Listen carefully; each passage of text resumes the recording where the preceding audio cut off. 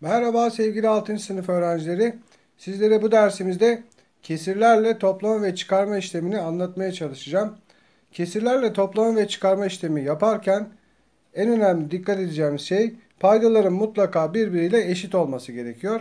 Hemen örneklerimizi yapalım. İlk örneğimiz 4 tam 1 bölü 4 ile 3 tam 1 bölü 5'i toplamamız istenmiş.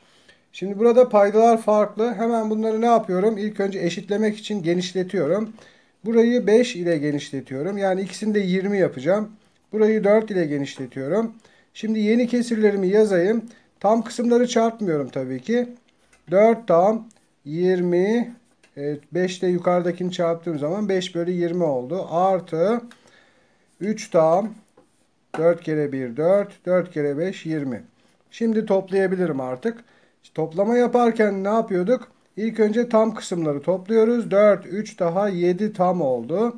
5 ile 4'ü topladım. 9 ve 20'yi aynı şekilde yazıyorum. Cevabımız 7 tam 9 e, bölü 20 oldu. İkinci örneğimizde bir doğal sayı ile e, bir kesirin, e, tam sayılı kesirin toplanması var. Burada şu şekilde yapabiliriz sevgili öğrenciler. Toplama işlemi yaparken doğal sayı ile tam sayılı kesirleri bu zaten tam kısım, bu da tam kısım. O zaman tam kısımları toplayabiliriz hemen kısa e, olarak. 8, 4 daha 12 toplarım. Ve e, yanındaki kesir olan kısmı da ilave ederim. Ve sonuç ne olur? 12 tam 3 bölü 9 olur. Böyle kısa yoldan yapılabilir. Biraz da uzun yolu da var aslında ama ona gerek yok. Böyle çok daha basit. Yani bir doğal sayıyla bir tam sayılı kesir karşımıza çıktığında Ta, bu doğal sayılı tam olduğu için tamları toplarım 12 yazarım. Sonra yanındakini de kenarına yazdığım zaman sonucu bulmuş olurum. Son örneğimizde, üçüncü örneğimizde yani bu kağıttaki son örneğimizde bir bileşik kesir var. Çıkarma işlemi yapacağız ve bir tam sayılı kesir var. E, burada kolay olsun diye ilk önce ben şuradaki tam sayılı kesiri bileşik kesire döndüreceğim. Böylece çıkarma işlemime devam edeceğim. Nasıl döndür? Önce şunu yazayım. 11 bölü 2 eksi Şimdi 1 e, kere 14 14 3 de burada 17 oldu. Ve 17 bölü 14 oldu. Şimdi çıkarma yapmak için e, paydaların eşit olması gerekiyor. O zaman burayı 7 ile genişletmem lazım 14 yapabilmek için. Şimdi yeniden genişleterek yazıyorum. 7 kere 11 77 oldu. Bölü 14 eksi 17 bölü 14 ve e, çıkarmamı yapıyorum. Çıkardığım zaman 60 kaldı. 60 bölü 14. Şimdi bazen bazı sorularda şöyle oluyor. Cevabı buluyorsunuz 60 bölü 14 fakat şıklarda 60 bölü 14 olmuyor. Daha küçük kesirler oluyor. Ne yapılıyor o zaman? Burada şunu uygulamanız gerekir. 60 bölü 14'ü biraz sadeleştirebilirsiniz. Mesela bunun ikisini de 2'ye bölebilirsiniz. 2'ye böldüğümüz zaman ne olur? Şöyle yapalım. 30 bölü 7 olur. Cevapların içinde belki 30 bölü 7 varsa bunu işaretleyebilirsiniz. Ya da bu şekilde cevap varsa bunu işaretleyebilirsiniz. Yani bu bunun ikisi aslında aynı kesirler oluyor. Sadece birazcık sadeleştirilmiş hali oluyor diyorum. Ve diğer örneklere bakıyoruz. Şimdi bir doğal sayıdan bir e, tam sayılı kesiri çıkarırken e, az önceki toplama işleminde olduğu gibi yapmıyoruz. Bunu elbette ki farklı bir şekilde yapacağız. Şimdi doğal sayıların e, paydaları şöyle göstereyim. Her doğal sayının paydası 1'dir. Bunu unutmuyoruz. 6 bölü 1 olarak yazabilirim. Eksi 3 tam 1 bölü 8. Şimdi burada şöyle e, bir şey yapalım. Biz bunu bileşik kesire döndürelim. 3 kere 8 24 bir de burada 25. Hemen şöyle yazıyorum. 6 bölü 1 eksi 25 bölü 8.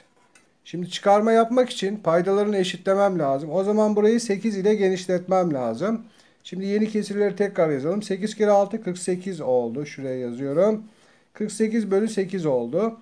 Eksi 25 bölü 8 diyorum. Ve şimdi yapıyorum. 48'den 25'i çıkardığımız zaman evet ne, ne olur? 23 kalır. Ve cevabımız 23 bölü 8. Eğer biz bunu tam sayılı kesire döndürmek istersek yine onu tam sayılı kesire döndürüp başka bir şekilde de ifade edebiliriz. Ya da cevaplarda böyle bir şık varsa bunu işaretleyebiliriz diyoruz. Ve diğer alıştırmamıza bakıyoruz. 6 tam 3 bölü 4 eksi 1 tam 2 bölü 6 ve artı 4 bölü 12 var. Şimdi ilk önce parantezin içini yapabiliriz. Ne yapalım? Bunların hepsini 12 yapalım. paydalarını. Zaten burada da 12 olduğuna göre. O zaman bunu 3 ile genişletelim. Bunu da 2 ile genişletelim. Ve yeni kesirleri yazalım. 6 tam 3 kere 3 9 bölü 12 eksi e, 1 tam 4 bölü 12 oldu. Parantezimizin içi. Şunu da yazalım yine 4 bölü 12'yi ve devam edelim. İlk önce çıkarmamızı yapalım. E, 6'dan 1 çıktı 5 tam kaldı. 9'dan 4 çıktı 5 bölü 12 oldu parantezin içi. Artı 4 bölü 12 diyoruz.